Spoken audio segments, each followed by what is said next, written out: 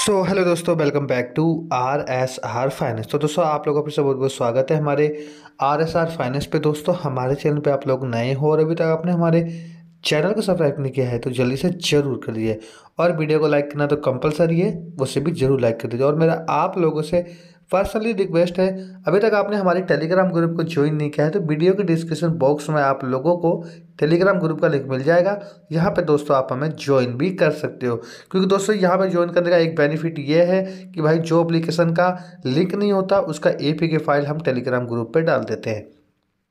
Application की अगर मैं बात करूँ तो भाई यहाँ अप्लीकेशन नाम है crazy cash loan five hundred plus इसके।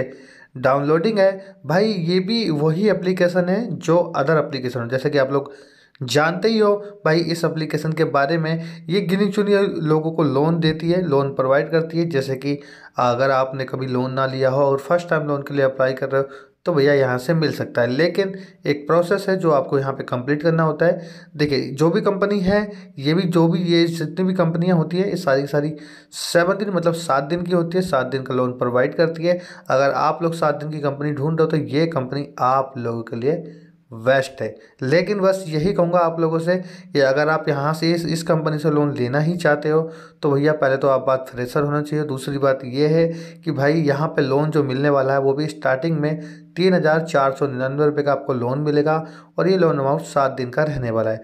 प्लीज़ दोस्तों प्लीज़ डोंट माइंड मेरा काम है रिव्यू करना एप्लीकेशन का। मैं सारी एप्लीकेशन के बारे में ही बताता हूँ, ऐसी बात नहीं है। देखो लोन मैं जानता हूँ कि आपको इस कंपनी से नहीं मिल पाएगा अगर आप फ्रेशर नहीं हो। अगर आप फ्रेशर हो तो आपको ईजिली मिल जाएगा। डैन मेरे जितने भी नए नए सब्सक्राइबर हैं, कम से कम उनको तो मैं इन चीज़ों के बारे में बता दूँ। तो प्लीज़ दोस्तों माइंड मत करना। डन आपसे यही कहूँगा वीडियो को लाइक करते चलना और चैनल पे हमारे नए हो तो चैनल को सब्सक्राइब ज़रूर करना है।